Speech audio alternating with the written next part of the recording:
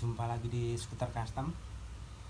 Teman-teman apakah pernah punya masalah? Yaitu baut setelan kopling yang sebelah sini ini baut ini. Ini patah dan patahannya itu tertinggal di dalam ini seperti ini. Dia ini patahannya tertinggal di dalam. Nah dengan kondisi seperti ini ini kita tidak bisa memasang kabel koplingnya ini dengan cara nanti akan bisa disetel lagi karena ini kondisinya udah patah ini udah udah di luar dan untuk sisa patahannya itu tertinggal di dalam. Nah saya akan berbagi solusi gimana caranya ini yang patahan dari baut ini uh, bisa kita keluarkan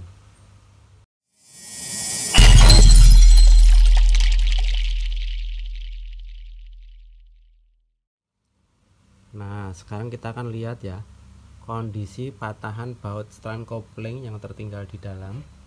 Nah, itu kondisinya seperti itu. Dia masih tertinggal di dalam ya. Sekarang kita akan coba untuk melepas itu ya, kita keluarkan. Terus nanti kita akan ganti lagi bautnya dengan yang baru. Nah, untuk cara melepaskannya saya pergunakan alat ini namanya screw extractor ya nah ini alatnya seperti ini. Emang dia ini khusus buat uh, melepas atau cabut uh, mengeluarkan baut-baut yang patah tertinggal di dalam uh, benda atau di dalam mesin. Nah ini dia ada bermacam-macam. Ini ada ada yang paling gede terus terus mengecil kecil terus ada yang paling kecil. Nah untuk ukuran ini baut setelan kopling ini ini kan di dalamnya udah ada lubang. Nah untuk uh, lubang ini ini kecilnya itu sama ini pakai yang ukuran paling kecil seperti ini. Nah untuk bagian ini nah ini kan dia bentuknya uh, mengerucut ya dan mengerucut. Dia ada kayak seperti ulir nih ada ulirnya. Nah ini ulirnya ini kebalikan dari uh, model baut normal kenapa kebalikan jadi biar dia nanti ngunci nih. Bagian baut yang tertinggal nanti ngunci nah untuk yang baut stand kopling ini ini karena di dalamnya udah ada udah ada lubangnya karena memang lubang buat kabel kopling jadi itu akan sangat mudah untuk melepaskannya. Jadi tidak usah membuat lubang yang baru.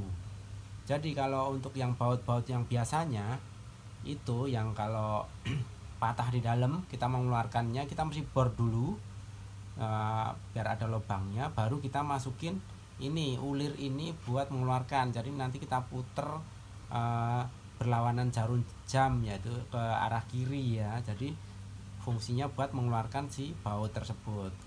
Nah sekarang kita akan coba untuk mengeluarkan bautnya itu. Kita gunakan yang paling kecil nih. Emang ukurannya pasnya kayak yang kecil nih. Kalau yang paling kalau yang di atasnya ini ini nggak masuk di lubangnya sini. Ini nggak masuk sini jadi kita gunakan yang paling kecil. Nah kita akan keluarkan nih bautnya ya. Kita keluarkan. Ini pakai yang ini yang paling kecil. Kita coba putar dengan tangan apakah dia bisa muter. Kalau berat berarti kita pergunakan alat bantu. Ini kita pakai tang kita tekan sambil kita putar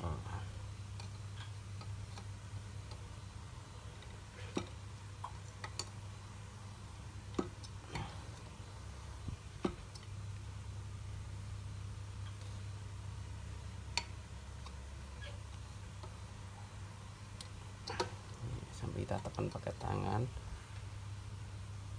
Kita putar dia pelan-pelan akan keluar.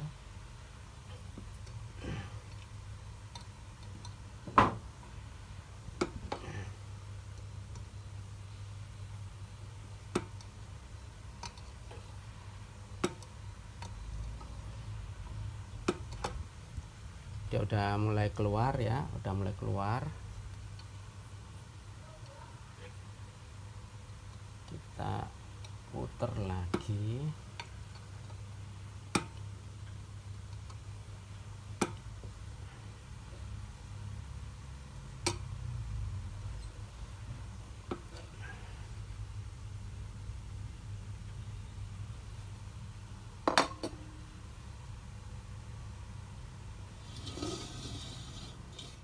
Kita lanjutkan ya ini. Kita putar lagi. Dia pelan-pelan keluar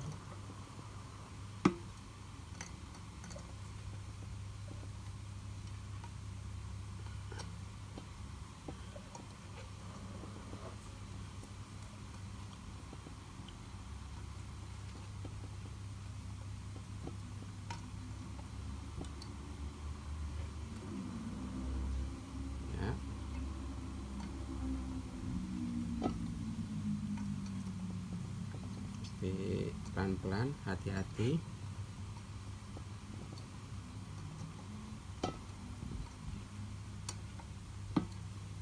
Pelan-pelan yang penting bisa keluar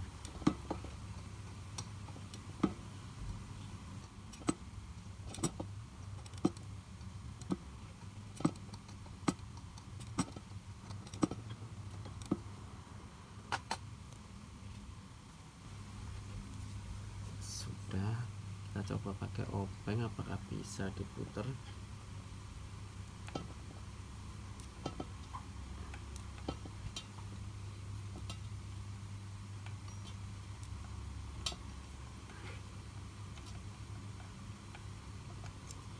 agak susah. Berarti kita pakai screw extractor lagi nih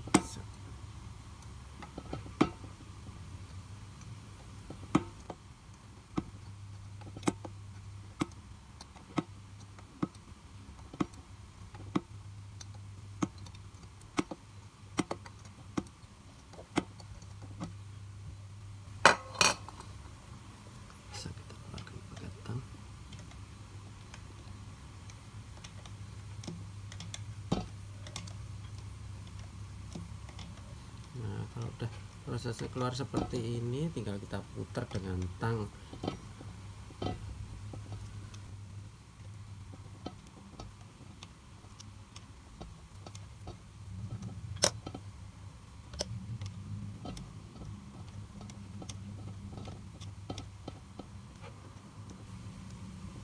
Oke dikit lagi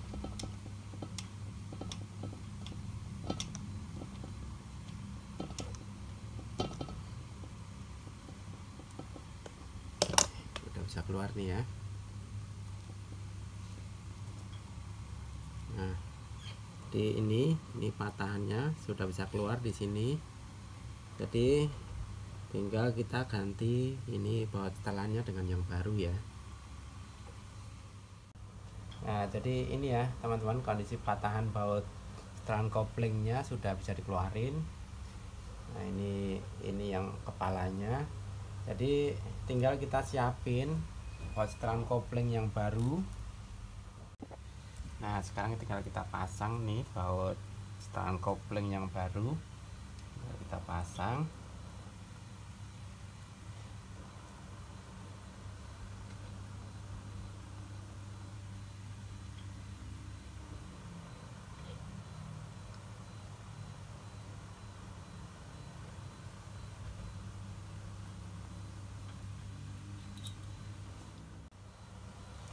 nah ini baut setelan kopling yang baru sudah terpasang ya.